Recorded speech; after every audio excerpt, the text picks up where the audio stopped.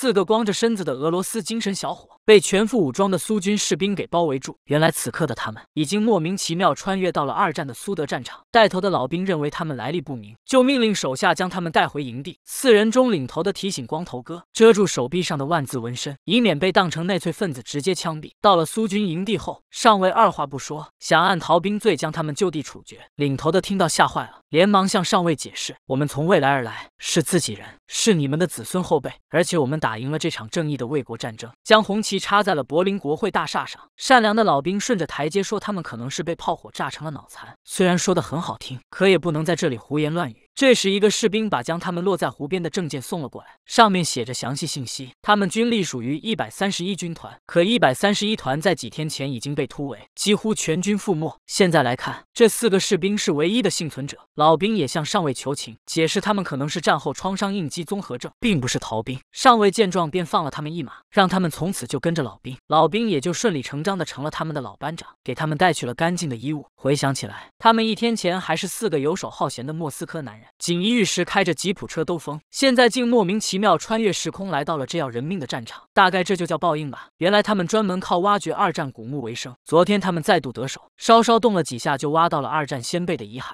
这个地方以前是个指挥所，他们在那儿发现了一个女医生上尉，还有四具普通士兵的尸体。桌上还有一块手表，指针停在了六点四十二分，这就意味着这些人在六点四十二分死去了。更令大家高兴的是，里面还有一个完好无损的保险箱，里面有一把苏制手枪，还还有几枚。徽章和一箱子弹，这下四个人可以大捞一笔了。几个人买来伏特加和食物庆祝了一番。这四个人中有个名叫博尔曼的大学生，是学考古专业的，擅长盗墓和德语。他能带领团队在两个月内挖四个坟墓，简直是个墓地探险家。那些喜欢收藏的外国人很愿意花大价钱买这些二战军官的荣誉徽章。而光头哥一直跟着他在混，视落榜美术生为偶像，将我的奋斗奉为圣经。另外两个黑头和四眼基本上就是个玩咖，不喜欢正经工作，却乐意和他们。搅在一起，黑头从遗址中拿出了一块先烈的头骨，毫无尊敬的将其插在木棍上，准备玩射击游戏。要不是博尔曼及时出现阻止，他们就犯了大错。就在这时，远处传来呼声，一位村庄的老奶奶从森林深处走了过来，似乎非常熟悉的为他们倒起了牛奶。博尔曼想付钱，但老奶奶却没有收一分钱，只希望他们能找到他在战争中战死的儿子，名字叫索科洛夫。烟盒上刻有“为了革命的忠诚”字样。虽然老奶奶慈祥和蔼，但他们只是敷衍的应着，甚至有些。讥笑，但老奶奶走之前还告诉他们，附近有个湖，可以洗去身上的污泥，回到原来的地方。博尔曼打开保险箱里的物品，仔细观察，但这让他们彻底震惊了。那些死去士兵的证件上，无一例外都是他们的照片，只是名字不同。毫无疑问，上面的人就是他们自己。难道他们盗墓挖到了自己的坟墓？这简直让大家难以置信，开始怀疑是不是喝了贵州茅坑，眼睛看花了。于是他们带上证件，一路狂奔到老奶奶提到的湖，想让自己清醒过来。但当他们潜入湖中，开始感觉不对劲。不仅湖水温度骤降，外面也开始连番轰炸，子弹几乎擦着身子过去了。大家非常慌张，像逃命一样游向岸边，还没来得及穿上衣服，就被一群身份不明的人用枪逮住了。他们抬头四处张望，发现是一群全副武装的人，穿着前苏联的军装。原来此刻的他们已经穿越到了一九四二年，正处于鏖战中的二战时期。博尔曼看着手表上的时间，知道他们所处的时代。虽然他是个历史迷，但在这危险的地方，他毫不犹豫的想离开，心里只想着逃离这个可怕的。地方。然而，当老班长带着漂亮的女医务兵妮娜过来给他们检查头部时，四个人瞬间愣住了，被如此大方美丽的护士姐姐给迷住了。他们完全忘记了自己身处危险的环境。就在这时，德军的炮火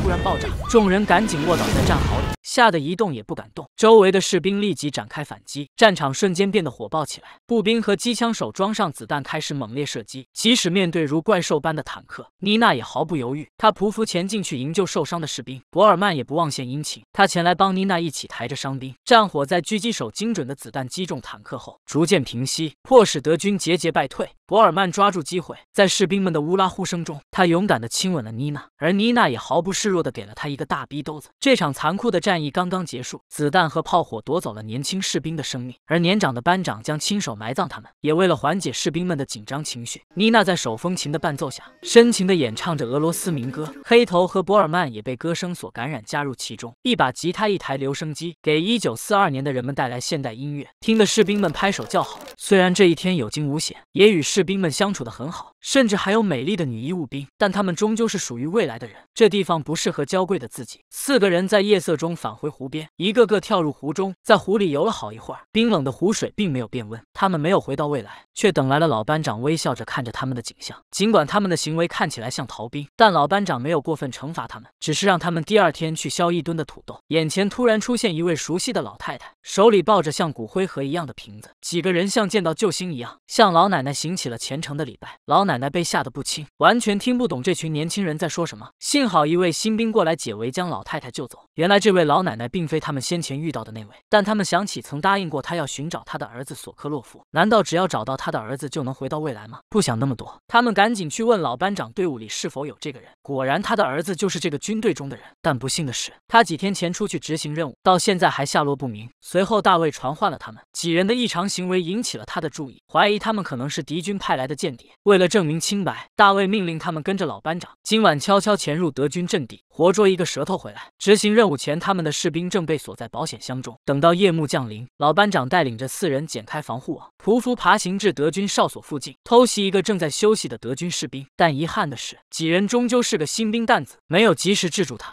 让他发出了声音。很快，其他德军发现了他们，并开始向他们开火。他们扛着舌头迅速撤退。老班长决定为他们争取时间，一人一枪留下来掩护他们撤离。老班长向博尔曼询问战争何时会结束。当他回答一九四五年五月九日时，老班长释怀的笑了。在这一瞬间，老班长愿意相信他的话是真的，他的孩子们将不再受战争之苦，将生活在和平年代。老班长用尽最后一口气为他们争取了时间。可即使老班长牺牲了，但最终四人还是被德军所俘虏。拷问期间，由于博尔曼通读古今，德军办公室瞬间。变成了百家讲坛。博尔曼不仅一口就叫出了对面德军上校的名字，叫做博尔霍夫，还说出了苏军胜利的日期以及上校以后的个人经历。他会在四十三年被俘虏，四十八年回到德国，成为一名历史学家。日后写了一本关于二战的书，并获得权威的文学奖。虽然不知道博尔曼所言是否属实，但着实引起了上校的兴趣，将他单独留下陪谈。博尔曼酒过三巡之后开始上头，提前透露出了不久之后斯大林格勒战役的战略部署。他们的红军将如和沿着伏尔加河一路攻破德国战车，占领柏林。希特勒也将在地下室中饮弹自尽，甚至还说法国也将骑在他们头上。所幸上校觉得他就在胡言乱语，根本不相信这番话的内容。要不然，二战的历史走向将要再次改变。博尔曼被直接送回了牢房，牢房里还有另外一名苏军士兵，他浑身伤痕累累。经过一番了解后，几人发现这个人正是老奶奶的儿子索科洛夫。烟盒上果然刻着“为了革命的忠诚”的字样，让他们兴奋不已。在交谈中，索科洛夫夫向他们。透露了自己挖掘的地道，虽然他已经无法行动，但希望他们能够带着他的烟盒交给妈妈。四人趁着夜色爬了出去。索科洛夫为了掩护他们被守卫打死，他们成功的返回苏军阵地。之前已经培养了感情的妮娜见到情郎博尔曼活着回来，更是泪流满面，趁着进攻前的时间与他好好相聚。然而他们的好事被情敌眼镜男打乱了，被上尉处罚在地下室待了一夜，无法提前返回未来。次日，随着枪声响起，最后的总攻开始了。尽管博尔曼等人知道战争最终会。胜利，但面对真实的战场，他们不由自主地感到恐惧。他们只能像无头苍蝇一样跟随大部队冲向前方。手表上的时间一点一点靠近六点四十二分。博尔曼看着妮娜和其他士兵带着中枪的上尉进入指挥所，他这时才明白过来，将要死去的不是他们四个。博尔曼拼命地呼喊自己的爱人，但战场的炮火掩盖了他的声音，他只能无奈地看着爱人被炸死在自己眼前，悲伤不已。然而他看看着身边的战友和先辈们一个个倒下，博尔曼将悲痛转化为力量，与其他伙伴勇。勇敢地冲向敌军堡垒，成功地摧毁了德军的火力压制点。其他红军见状一拥而上，在一片乌拉的声中击败了德军。但眼镜男不幸中弹，他们背着眼镜男一路奔向湖边，连衣服都没来得及脱下就跳入湖中。随着时间的流逝，他们能感觉到周围水温上升，眼镜男也恢复过来。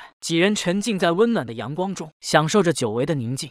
然而，他们也陷入了失去爱人和战友的悲伤之中。光头哥甚至拿起地上的石头，在手臂上划去万字。尽管他们活着回到了未来，但先辈们却永远死在了过去。回到熟悉的莫斯科广场，四人看着这些无知的光头党，不懂先辈们的无畏牺牲，迷信奈粹，无所事事。但他们曾经何尝又不是如此呢？享受着先辈的成果，却又随意践踏着先烈们的遗迹，视为玩物，视为商品。电影里可以是精神小伙的一次历史虚无主义梦幻式的打破与觉醒，可现实。中却需要一代又一代的正确教育，才能缔造出一种正常的历史唯物主义价值观。